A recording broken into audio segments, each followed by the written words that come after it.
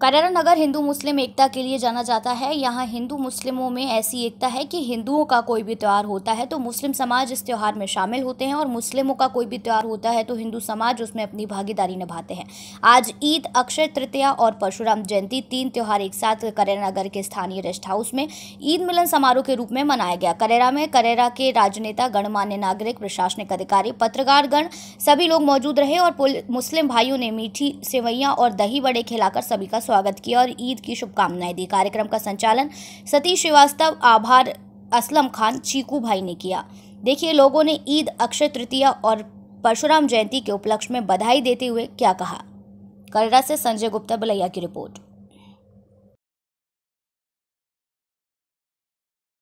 जिस प्रकार किसी बाग में अगर एक ही प्रकार का फूल रहेगा या मान लें अपन के गुलाबी गुलाब का फूल रहेगा तो वो बाग सुंदर नहीं दिखेगा।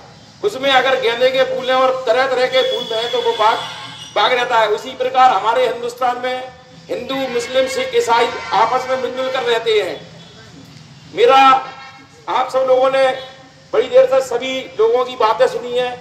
एक ही आप सब लोगों से निवेदन है कि मोहब्बत जो आज नफरत है, नफरत को नफरत से नहीं, बल्कि मोहब्बत से जीता जा सकता है। आज इस विषय में जो नई शुरुआत हुई है वो भी बहुत महत्वपूर्ण है। सभी को अक्षय तृतीया की शुभकामनाएँ देती हूँ। और आदरणीय मजले आलम जी मुझसे, मैं जब आई थी तो कह रहे थे, बोले, बेटा, मैं पिचासी साल का हो गया।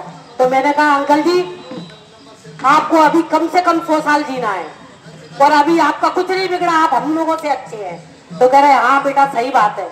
तो मैं एक बार इस करेरा की नगरी को और सभी को बार बार नमन करती हूँ। हमें अपनी सुबहों से शामों से प्यार हमें अपने शहरों के नामों से प्यार हमें प्यार अपने हर एक गाँव से घने बरगदों की घनी छाँव से हमें प्यार अपनी इमारत से हमें प्यार अपनी रिवायात से सलामत रहे अपने दश्तो दमन रहे गुनगुनाता हमारा गगन।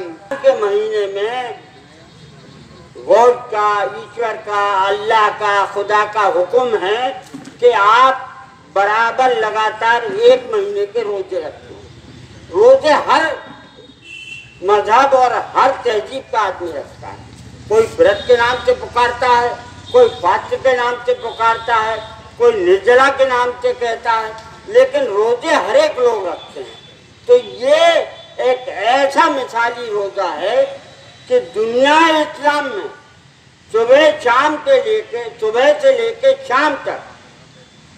रोजा रखा जाता है और मुतवातिर एक महीने की ट्रेनिंग है ये मरोजी उस समय एक करेरा की आवाम इस करेरा की जनता जब रामनवमी का जुलूस निकलता है तो हमारे मुस्लिम भाई उसका स्वागत करते हैं, पूरी आज ईद मिलन का पर्व है तो उसमें सभी हिंदू भाई और मुस्लिम भाई मिलकर आज इस ईद मिलन का कार्यक्रम साथ में मना रहे हैं। ये मिसाल और एकता ये दुनिया को एक संदेश है कि हमें किस प्रकार इस देश को आगे ले जाना है।